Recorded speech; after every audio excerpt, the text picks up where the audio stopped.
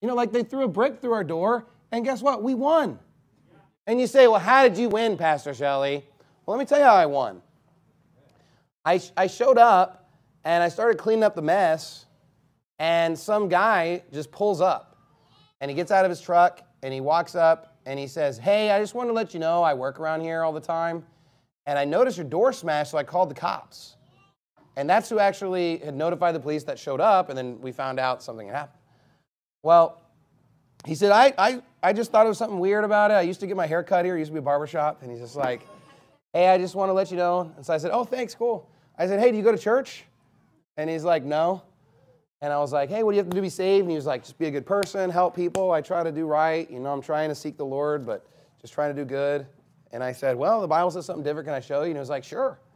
So I literally just get to start. I'm standing in the glass. You know, I'm like standing in the glass, just preaching this guy the gospel. And he's like one of the most receptive people I've ever had preaching the gospel. Not only am I preaching the gospel to the guy, two people that don't like me at all decided to show up and they start harassing me and this guy. I didn't even talk to them. They start attacking me and saying, You're a hate preacher and you hate the, he hates the gay. They're like, Look at this guy. He hates the gays. You know, and they're harassing me and attacking me verbally assaulting me for minutes. And he just sticks through it. Okay. They finally leave.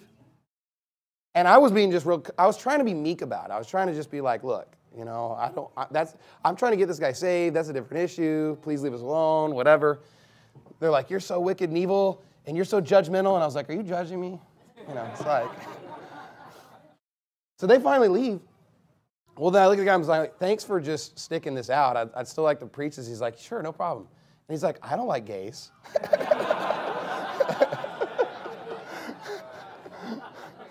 I, was, I was like, yeah. So then I just start, and he's like, they were just a bunch of Karens, anyways. So then I just keep preaching the gospel. He gets saved. Amen. I mean, look, if, if I have to get a door smashed to get someone saved, praise the Lord. That guy probably would have never gotten saved if it hadn't happened. Think about it. He wasn't going to just walk through the door, he walked through the broken door. Not only that, the guy that came to repair the door, he saw that encounter. And he's like, hey, I saw you getting attacked by these people. Okay? And, and he's like, but I agree with you. And I was like, do you go to church? He's like, no. and so I started talking to him, and he gets saved. It's like, I mean, why, why are we so afraid to preach the Bible? We get so nervous. We think that like God in heaven is nervous for us.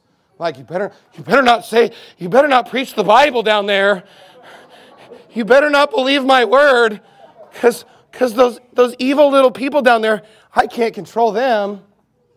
What what, you, what are we so afraid of? If God be for us, who can be against us? Yeah.